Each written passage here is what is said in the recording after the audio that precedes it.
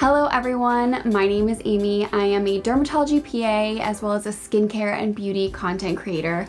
I have been educating about skincare, beauty, and hair care on the internet for over six years now, and I seriously love bringing you guys the most accurate information. There's so much fluff out there. I know that it's difficult to decipher what is actually accurate education and what's just good marketing. My skincare journey, like many of you, started when I was pretty young. I remember begging my mom to take me to the Clinique counter so that I could get my like personalized three-step skincare routine. The packaging, the experience, sitting in the stool, talking to the woman in the white coat.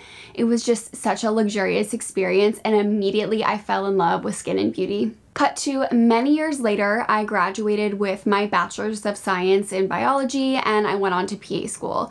In PA school, I already knew I wanted to end up in dermatology. I did my elective rotations in dermatology. I soaked up as much derm knowledge as I possibly could. But ultimately, when I graduated from PA school, I knew that I wanted to cement my general medical knowledge first. So I took a job in the intensive care unit as a critical care and pulmonology PA, where I worked for about three years. It was very high stress, but also so incredibly rewarding to be able to make such an impact in someone's life in a very serious situation.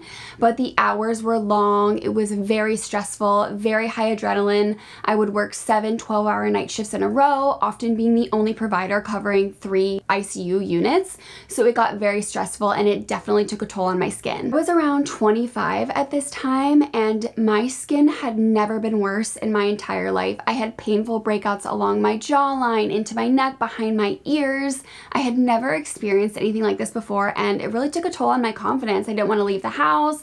I was trying to wear my hair in front of my cheeks so you couldn't see all of the painful cystic acne. Thankfully, I was able to get it under control with the right products, but this just further cemented my love for dermatology and the skin. So finally, when the right opportunity presented itself, I started working with one of the country's leading cosmetic dermatologists. Taught me everything there was to know about skincare and taking care of our patient's skin. And she literally wrote the books, plural, on cosmeceutical ingredients, on cosmetic dermatology. So I could not even conjure up a better teacher to learn from. It's truly been the most amazing experience and has shaped me into the dermatology provider that I am today. In my years as a dermatology provider, I have been able to help patients with their skincare routines, with acne, with rosacea, with eczema, with hair thinning, you name it, and it's so incredibly rewarding to see them come into my office month after month and their face just get brighter and they're happier and more confident.